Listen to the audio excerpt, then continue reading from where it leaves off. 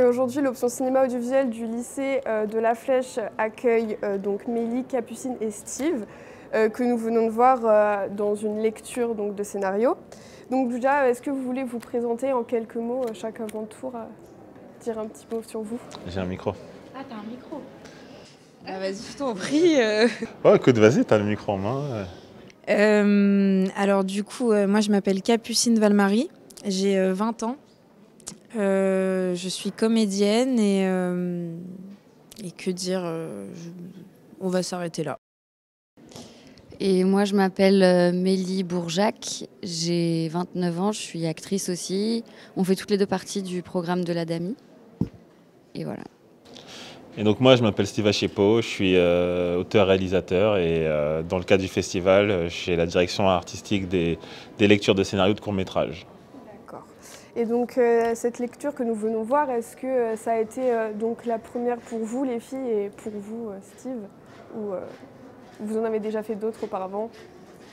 Ok. Alors, oui, il y a deux ans, mon, mon scénario de long métrage, le premier long métrage, était sélectionné aux lectures d'Angers. Donc, du coup, bah, j'avais.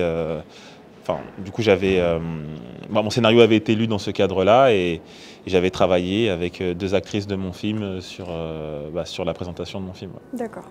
Et vous les filles? Euh, non, pour moi, c'était une première, euh, première, première fois.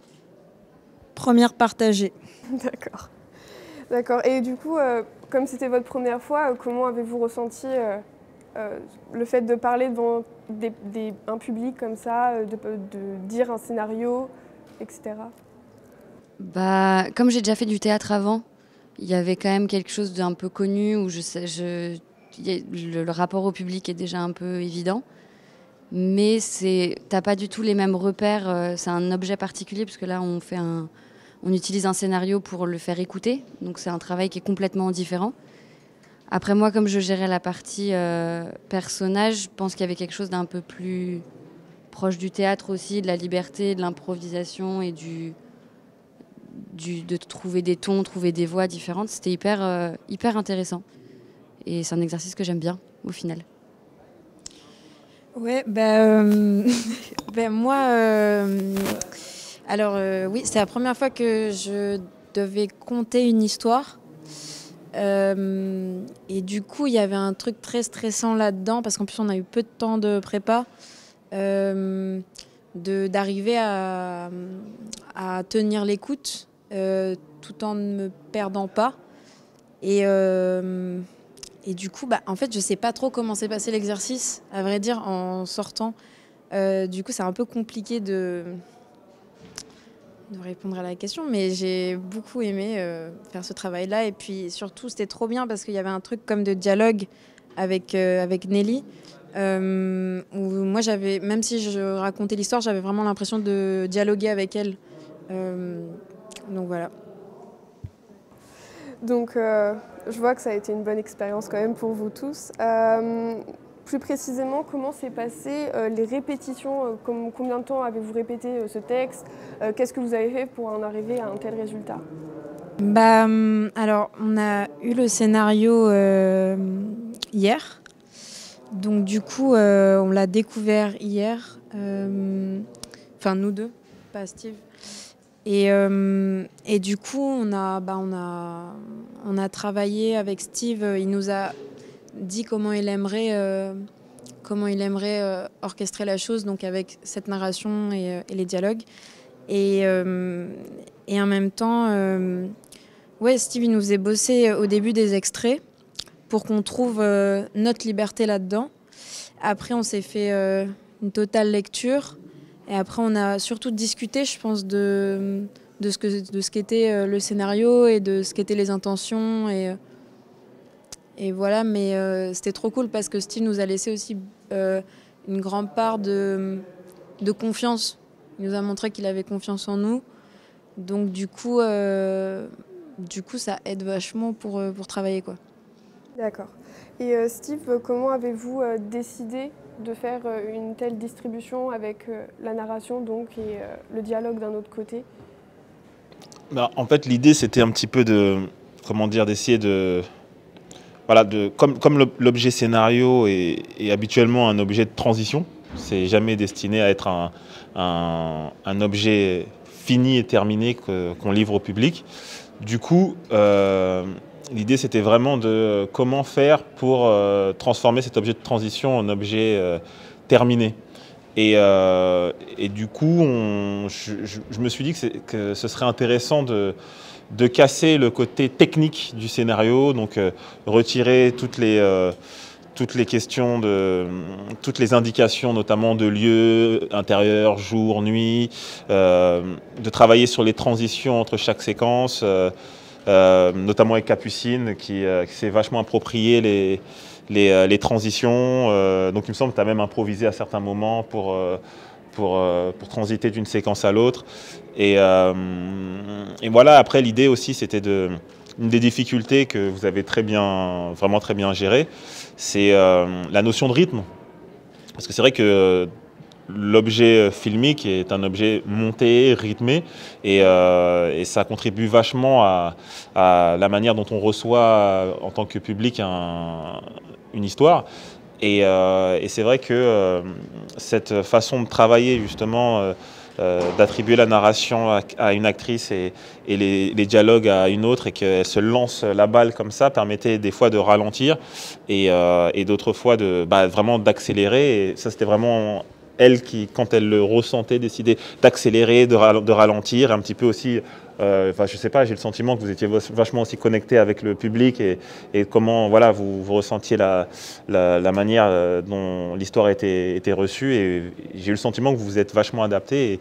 Et, cette liberté-là, l'instinct dont vous avez fait preuve, hein, enfin, c'était vraiment ça l'idée qu'elle se sente libre après de, bah, d'interpréter, de réadapter euh, l'histoire. D'accord. Et du mm. coup, ça veut dire que votre interprétation du, scénario a été plutôt personnelle. Vous n'êtes pas vraiment réellement basé sur l'idée du, réalisateur euh, à proprement parler du scénario Vous avez plutôt euh, fait réinventer un peu votre scénario à travers un texte Alors, non, l'idée c'était vraiment de respecter le, propos avant tout, de, en l'occurrence de, la réalisatrice, et de ne pas travestir son propos.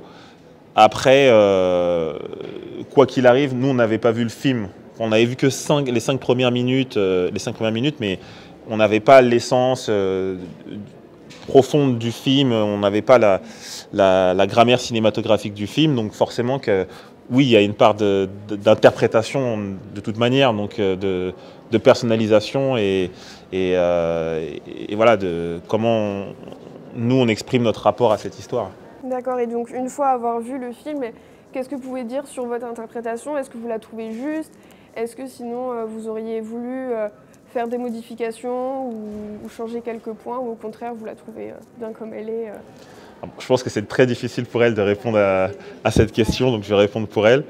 Euh, alors moi j'ai trouvé ça très juste. Et personnellement, je ouais, j'ai pas l'impression, enfin, j'ai l'impression qu'on a qu'on a retranscrit l'essence du, du, film finalement. Après, enfin, faudrait, en vrai, il faudrait poser cette question-là à la réalisatrice du film. Ce serait plus. Euh, parce que nous, enfin, même si j'étais pas sur scène, je fais partie de l'équipe, donc euh, c'est un peu compliqué de, voilà, de, juger le travail. Hmm. Euh, est-ce que vous, Steve, vous avez décidé de choisir les filles ou ça, ça s'est fait sous forme de casting ou vous les avez juste rencontrées, vous leur avez proposé et si vous les avez choisies, pourquoi Qu'est-ce qui vous a motivé à les choisir?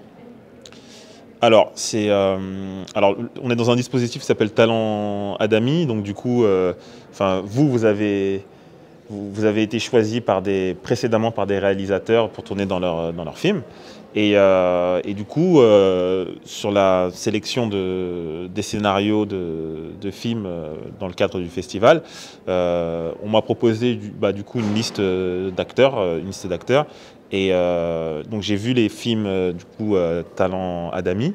Et, et, après, oui, à l'intérieur, par rapport à moi, l'idée que je pouvais me faire d'un point de vue totalement subjectif et, très extérieur, parce que je ne les ai pas rencontrés avant, je les ai rencontrés hier.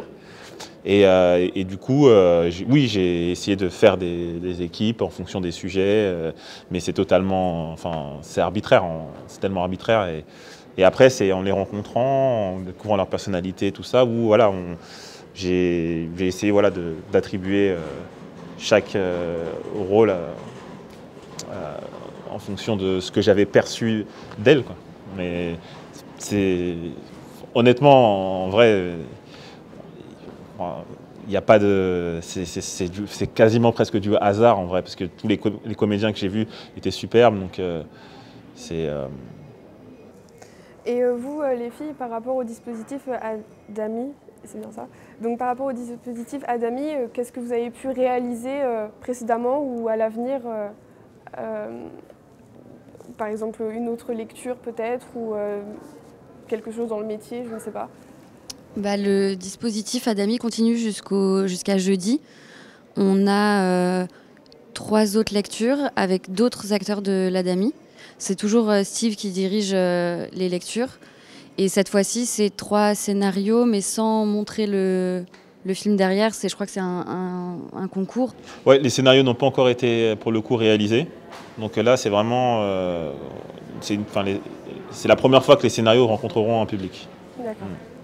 Merci beaucoup euh, bah, merci à vous d'avoir été ici, d'avoir répondu à toutes ces questions et euh, bah, plein de belles choses pour l'avenir. Tout pareil. Merci. Merci